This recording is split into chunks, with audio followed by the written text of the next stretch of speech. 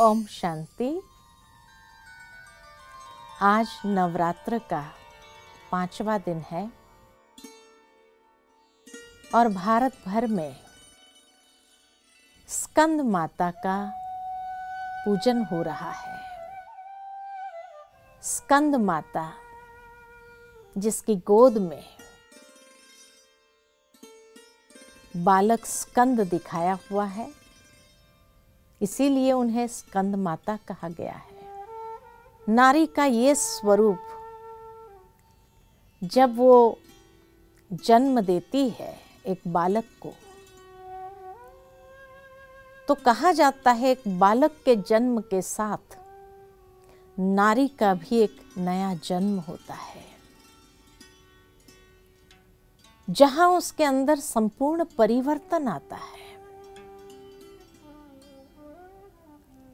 ममता जागृत होने लगती है। वात्सल्य भाव जागृत होता है। और स्नेह की शक्ति के आधार से वो अपने बच्चों को सुसंस्कारित करने लगती है। एक नारी जब माँ के रूप में परिवर्तित हो जाती है, अर्थात वही स्कंद माता है, जिसकी पूजा लोग नवरात्र में करते हैं। कहा जाता है कि माँ स्कंद की पूजा करने से परिवार के अंदर आशीर्वाद प्राप्त होता है। तो इसीलिए ये स्वरूप भी नारी का इतना सम्मानीय पूजनीय है। क्योंकि जब वो परिवार की वृद्धि करती है और अपने बच्चे को स्नेह की पालना देते हुए न्यारी और प्यारी होकर के उनके अंदर श्रेष्ठ संस्कारों का सिंचन करती है।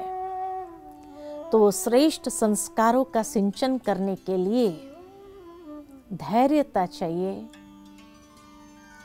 वो वात्सल्य चाहिए और साथ ही साथ हर रीति से बच्चों को एक माँ के प्यार की आंचल की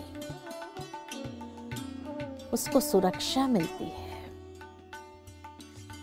परंतु आज की दुनिया में देखा जाता है कि जहाँ नारियाँ भाग रही है, जीवन के अंदर आगे बढ़ने के हिसाब से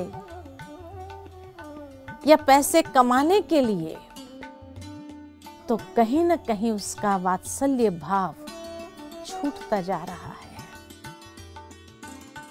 और वो वात्सल्य की कमी होने के कारण जिस तरह का संस्कार बच्चों के अंदर आना चाहिए, वो संस्कार दे नहीं पा रही है। और इसीलिए वो परिवार का सृजन तो कर लेती है।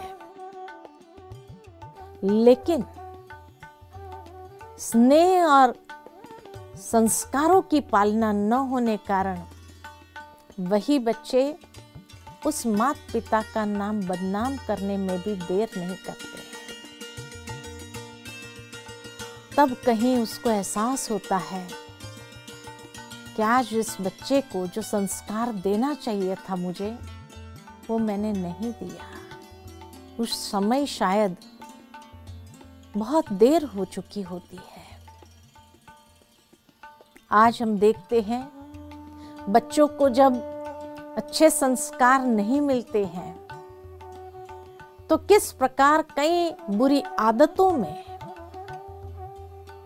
फंस जाते हैं, बुरी आदतों के शिकार हो जाते हैं, और फिर उसके बाद कितना भी उन बच्चों को वापस लाने का प्रयत्न करें तो भी वो बच्चे उस बुरी आदतों से वापस नहीं आते।